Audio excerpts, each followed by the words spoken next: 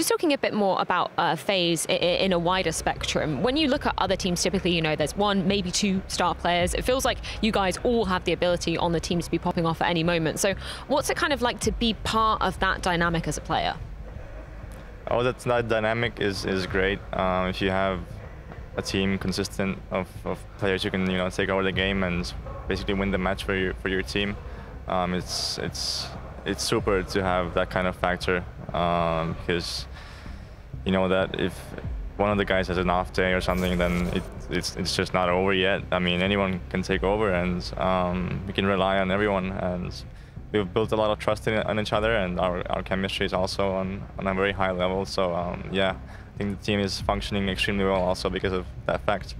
And coming up against G2, last time you faced them was at the IEM Katowice uh, Grand Final. So what are you making of them since then? What are you kind of thinking of them as a team and their trajectory that they've been on? I think G2 obviously are one of the super teams assembled for, for this year. Um, they haven't had as great of a start as, as we have, but they're definitely getting back on track. Um, I guess one thing with their map pool is definitely that they have not lost Inferno since that final and the last time they lost it was to us in, in that Katowice final.